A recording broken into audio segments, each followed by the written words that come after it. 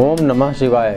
आश्विन मास कृष्ण पक्ष मंगलवार अष्टमी तिथि पूरे दिन लगी रहेगी। चंद्रमा आर्द्रा नक्षत्र में रात्रि ग्यारह बजकर पैंतालीस मिनट तक चलते रहेंगे, जिसके नक्षत्र स्वामी राहु हैं। आज के जन्मे जातक मज़बूत शरीर वाले, भाइयों के प्रिय, स्वाभिमानी, प्रखर मस्तिष्क वाले, सबसे प्रेम व्यवहार करने वाले, पूर्वानुमान लगाने में सफल मगर अध्ययन काल में बाधाओं के कारण संघर्ष करने वाले, नशीली वस्तुओं का व्यापार करने वाले, यात्रा, प्रिय, मानसिकता के और उच्च अभिलाषी भी होते हैं। यदि सहयोगी लग्न रहा, राहु और बुद्ध की स्थिति अनुकूल रही तो पूर्ण सफल होंगे। चंद्रमा आज पूरे दिन मिथुन राशि में ही चलते रहेंगे, जिसके राशि स्वामी बुद्ध देव हैं। आज के चंद्रमा पर बृहस्पति की नवम दृष्टि और शनि की सप्तम दृष्टि कायम रहेगी, मगर नक्षत्र राहु का रहेगा। जिससे उत्साह में वृद्धि होगी, मेहनत करने की प्रवृत्ति बनी रहेगी, सकारात्मक प्रेरणा और विभागीय सहयोग बना रहेगा, मगर भ्रम की स्थिति भी बनी रहेगी। इसलिए महत्वपूर्ण निर्णय सोच समझ कर लेना चाहिए। सरकारी कामकाज में सहयोग मिलेगा, रचनात्मक क्रियाशीलता बनी रहेगी और प्रतिनिधित्व करने का मौका मिलेगा।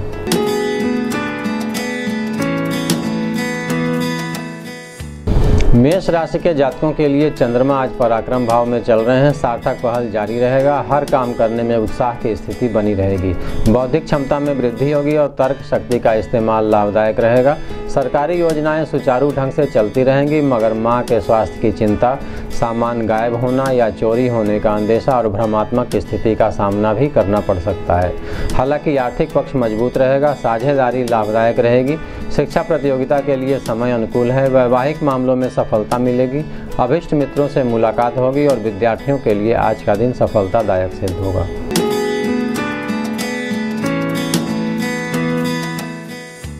वृष राशि के जातकों के लिए चंद्रमा दूसरे घर में मिथुन राशि में चल रहे हैं, वाणी में सुधार होगा आर्थिक पक्ष मज़बूत रहेगा, बौद्धिक क्षमता में वृद्धि होगी।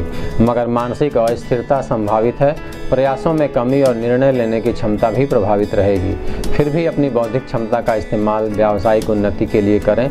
रचनात्मक प्रयास सार्थक होंगे और आर्थिक लेन देन में सावधानी बरतें।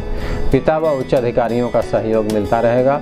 रुके हुए काम संपन्न होंगे, शिक्षा प्रतियोगिता में सफलता मिलेगी। संतान संबंधी शुभ समाचार मिल सकता है और पारिवारिक दायित्व की पूर्ति होगी और स्वास्थ्य संबंधी जटिलताओं पर सावधानी अपेक्षित है।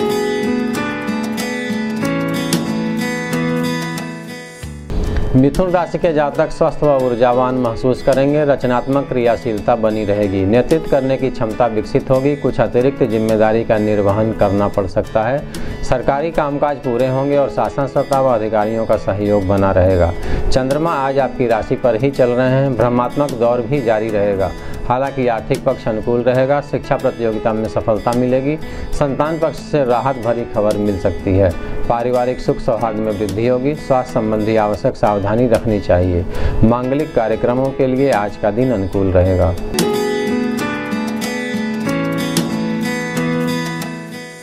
कर्क राशि के जातकों के लिए चंद्रमा आज बारहवें घर में मिथुन राशि में चल रहे हैं। सामाजिक व व्यावसायिक पक्ष मज़बूत रहेगा। आपकी अतिरिक्त ज़िम्मेदारी, सक्रियता और ऊर्जा स्तर हर काम में सफलता दिलाएँगे। मगर संतान संबंधी मामलों में अनावश्यक चिंता बनी रहेगी। शिक्षा प्रतियोगिता के लिए सार्थक प्रयास जारी रखें। अच्छे कामों में खर्च संभव है। भूमि, वाहन या प्रॉपर्टी इत्यादि के लिए अनुकूलता बनी रहेगी। न्यायालय या वाद विवाद संबंधी मामले आज के लिए अनुकूल रहेंगे। छोटी यात्रा या प्रवास की स्थिति बनी हुई है। निजी संबंधों में तनाव संभावित है और परिवारजनों के स्वास्थ्य पर ध्यान देना चाहिए। मांगलिक कार्यक्रम के लिए आज का दिन सामान्य रहेगा।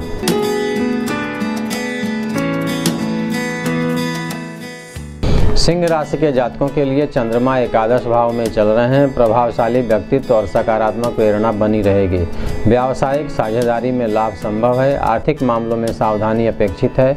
आय के संसाधनों में वृद्धि होगी। भविष्य की योजनाओं में निवेश के लिए समय अनुकूल है।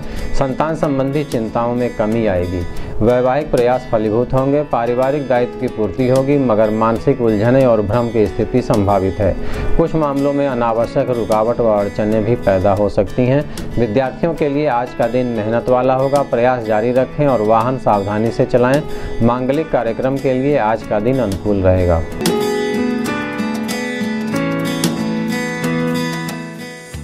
कन्या राशि के राशि स्वामी बुद्ध सूर्य के साथ राशि पर ही बैठे हैं और चंद्रमा आपके दसम भाव में राहु के नक्षत्र में चल रहे हैं। व्यावसायिक उन्नति का दौर जारी रहेगा। मित्रों व सहयोगियों और राजनीतिक व्यक्तियों से दिशा निर्देश और सकारात्मक प्रेरणा मिलती रहेगी। साझेदारी लाभदायक रहेगी, आर्थिक सहयोग मिलता रहेगा, मगर कार्य क्षेत्र में भ्रम की स्थिति भी बनी रहेगी और विरोधियों से सावधानी अपेक्षित है।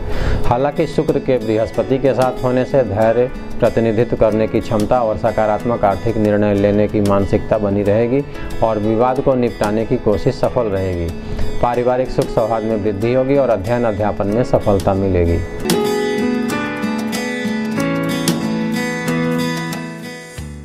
तुला राशि के जातकों के लिए चंद्रमा भाग्य भाव में राहु के नक्षत्र में चल रहे हैं। अचानक बाधा संभव है। मगर धन लाभ की स्थिति अच्छी रहेगी और कार्य क्षेत्र में उत्साह बना रहेगा।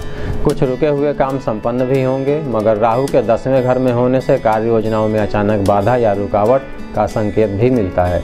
साझेदारी के प्रस्ताव लाभदायक सिद्ध होंगे और राजनीतिक व्यक्ति से भेंट संभव है। शिक्षा प्रतियोगिता के क्षेत्र में सफलता संभावित है। विवादित मामलों को निपटाने में मित्रों का सहयोग मिलेगा। धार्मिक भावना बलवती रहेगी, वैवाहिक प्रयास फलीभूत होंगे, मगर मन अंतर्द्वंद और आशंकाओं से भरा रहेगा। स्वास्थ्य संबंधी आवश्यक सावधानी बनाए रखें और मांगलिक कार्यक्रम के लिए आज का दिन अनुकूल रहेगा।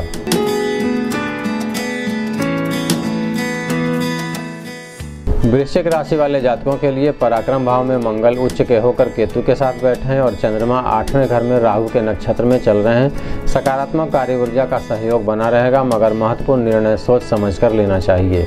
हालाँकि कार्य क्षेत्र में अधिकारियों का सहयोग मिलता रहेगा। व्यावसायिक योजनाओं के नए प्रस्ताव सामने आएँगे और उसमें निवेश लाभदायक रहेगा। हालाँकि कुछ मामलों में रुकावट का संकेत भी मिलता है। संतान संबंधी मामलों में खर्च संभावित है। नए रिश्ते का प्रस्ताव मिल सकता है। नकारात्मक विचारों वाले लोगों से दूरी बनाकर रखें और छोटी यात्रा या प्रवास संभावित है। साथ ही वाहन चलाने में सावधानी बरतें।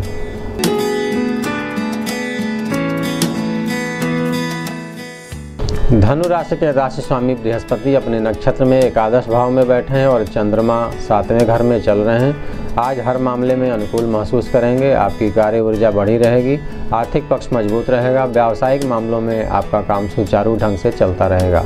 साझेदारी में सावधानी अपेक्षित है। नई कार्य योजनाओं के प्रति समय अनुकूल है। सूर्य बुद्ध की युति कार्य क्षेत्र के लिए लाभदायक रहेगी। शिक्षा प्रतियोगिता के क्षेत्र में समय अनुकूल है। संतान पक्ष से सुखद समाचार मिल सकता है। निजी संबंध प्रगाढ़ होंगे और वैवाहिक प्रस्ताव अनुकूल रहेंगे।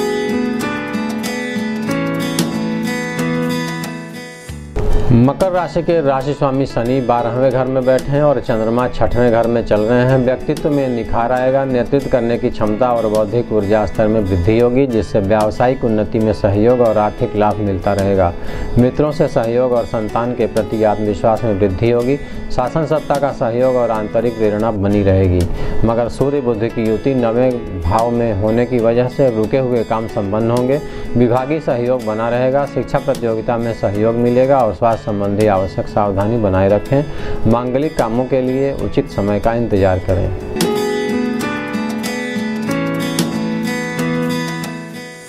कुंभ राशि के राशि स्वामी शनि एकादश भाव में बैठे हैं और चंद्रमा पाँचवें घर में चल रहे हैं। स्वास्थ्य संबंधी उतार चढ़ाव और आत्मविश्वास में भ्रमात्मक स्थिति संभावित है।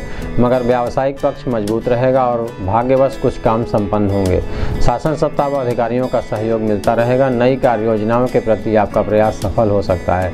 विरोधियों से सावधानी अपेक्षित है। संतान संबंधी शुभ समाचार मिल सकता है। शिक्षा प्रतियोगिता में प्रयास जारी रखें। आवश्यक संसाधनों में वृद्धि के साथ साथ खर्च भी संभव है। परिवार में हर्ष और प्रसन्नता का माहौल बना रहेगा और वैवाहिक मामले फलीभूत होंगे।